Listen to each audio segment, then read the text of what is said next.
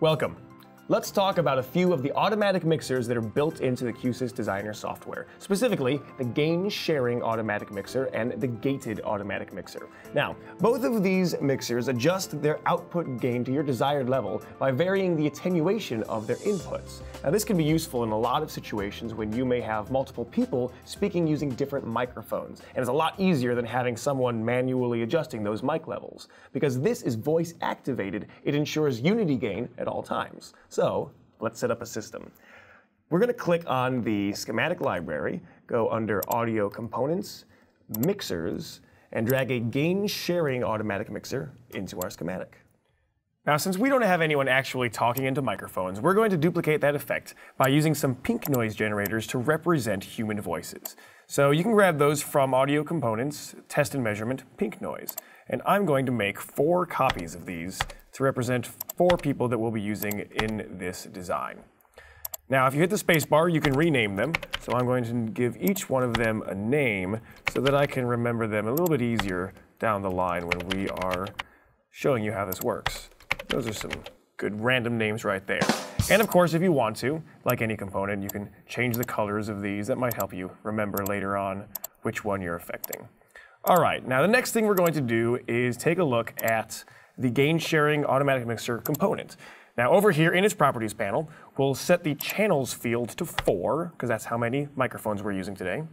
You can see now there are only going to be four input pins on the mixer.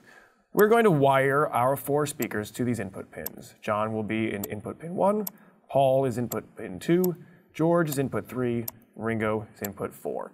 Now you may notice there are actually five output pins. It's because each input has a direct line out, and the last output is the mixed line. That's the one that we're going to be wanting to use. Now let's take a look at the functions on this mixer over here in the Properties panel. Like any component, you can change the color by using this fill option, and we've already adjusted the channel fields to change the number of inputs.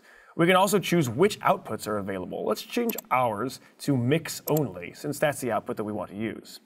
Next is the side chain filter. This will open or close another window in your mixer's control panel that lets you choose what bandwidth and frequency you're looking for in order to open the gate on someone's mic. We'll set it to yes, just so that we can take a look at that later. And lastly, there's detector time. This sounds like Sherlock Holmes' battle cry. What this does is it looks for momentary non-vocal spikes in the signal that might accidentally open the gate when it shouldn't. This could be a random digital blip, or maybe a person coughing. That might otherwise make the mixer think that someone's talking and open the gate. Well, the detector time lets you fine tune how long a noise has to be in order for it to count. You can select 10 milliseconds, 20 milliseconds, you can adjust it however you like, or select Use Control. That will give you another knob in the setup section of your control panel that lets you pick it manually.